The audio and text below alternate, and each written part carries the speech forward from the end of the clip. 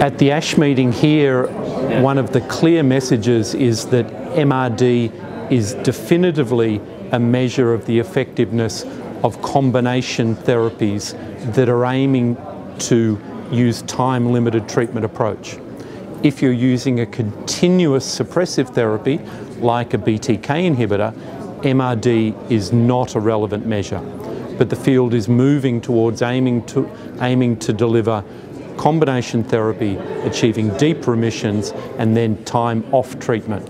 With that treatment paradigm, MRD negativity rates are a very robust measure comparing one regimen to another and are close to being able to guide treatment decisions in an individual patient.